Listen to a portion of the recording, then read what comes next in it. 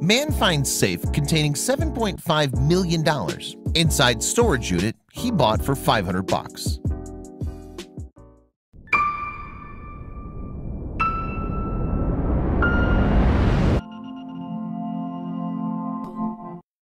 But before we start, please make sure to subscribe and hit the bell so you never miss an upload from us. Also, leave a like right now. Placing the final bid that ultimately won the contents of a storage container that would become the dream of a lifetime or the ultimate nightmare. When a man uncovers what really lies inside his container, he's shocked. And when the police showed up at his door hours later, he wasn't ready. He was just getting comfortable with bidding on storage containers that were on auction. Spending money that he didn't have was a huge gamble when you have no idea what's inside. But there were so many stories out there about people striking it rich, even of some people finding whole classic cars and driving off into the sunset. So far he'd been lucky, managing to sell the contents for just a little over what he'd paid for the entire lot. But it was a lot of work and a lot of time going through someone else's junk, sorting, cleaning, and then finding the right buyer. He was almost at the end of his rope. If there was nothing big in this one, he was done. Joe stood outside the container with about 15 to 20 other people eager to rubberneck what was inside the 5x15 unit. These were too big to get a good look inside, however, because they could store the contents of a one-bedroom apartment. Ideal for furniture, including a couch, chair, and small dining set, sporting equipment, bicycles, business merchandise. Not ideal for glancing inside and spending hundreds of dollars on. The bidding was fun. Not exactly what you see on TV, which is high drama, shouting, pushing, screaming, and general mayhem. But definitely fun especially when he got into a bidding war with someone. It felt good to win, and he warned himself, not for the first time, that he would stick to his budget. Don't spend what you can't afford to lose. He didn't want to learn the hard way.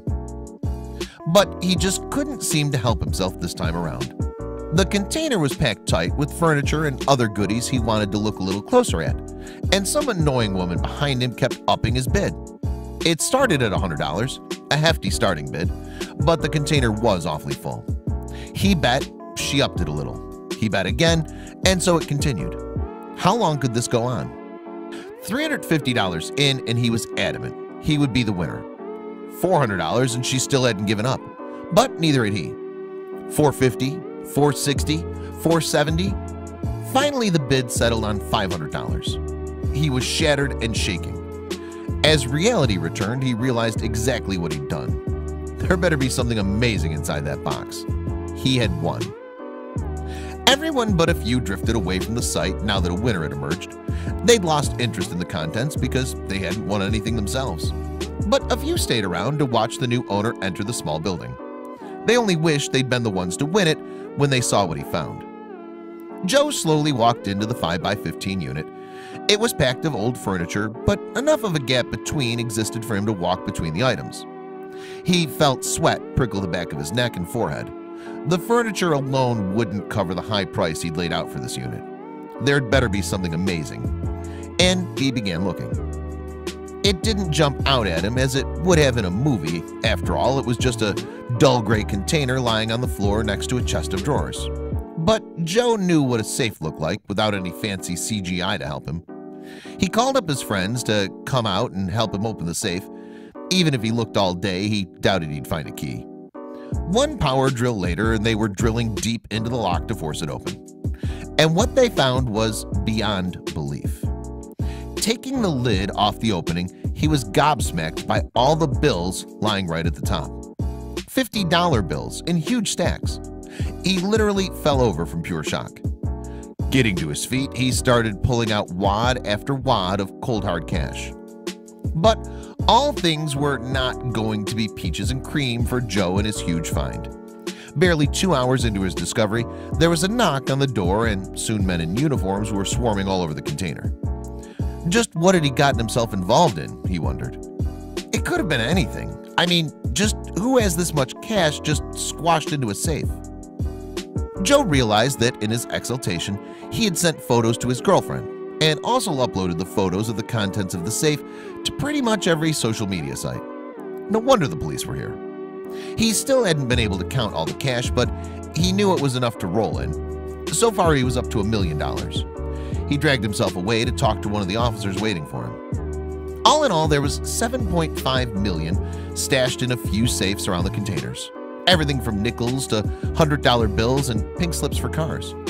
There was just one gigantic problem. The original owner had gotten wind of the find and had hired some top-notch lawyers to get back his fortune. Joe was in trouble. Everything started moving extremely quickly after the police arrived. Joe got a call from the lawyers telling him in no uncertain terms that he must return the money but that he could keep $600,000 as a finder's fee. Joe had some quick thinking to do after consulting with his friends Joe learned that in the state of California once a unit had been sold the contents were no longer owned by the delinquent tenant he had full rights to keep anything in the unit after all he had purchased it fair and square but the lawyers were not going to back down that easily Thinking that they were doing Joe a service, they upped the finder's fee to 1.2 million, and they were playing hardball. Who knew what these people were capable of? Joe began wondering just how someone forgets $7.5 million in a delinquent storage rental. Not someone good, it seemed, but how bad would things get? So would he only get 1.2 million? That's a huge amount of money in anyone's book, but still not quite the huge figure that he had just felt in his hands while unpacking wad after wad of money. He didn't like the fact that he was being strong-armed, but there was also the moral dilemma. It was now his money, but he didn't do a thing to earn it. Perhaps he should give it back. The thought was not sitting well with him. After much deliberation and amongst near threats, Joe decided that splitting the money straight down the middle would be a fair split. After all, the now previous owners had left the container unpaid for a lot more than a couple months. In fact, almost a year, without responding to the letters sent by the store owners. And that debt was exactly why the auction had happened. A storage owner says, I really don't make much money out of auctions. It's to try to cover our expenses. 90% of the time I don't cover my losses. One unit may have cost me $600 and the person bids at $400, so my revenue still suffered a loss. An unpaid unit does not make any money.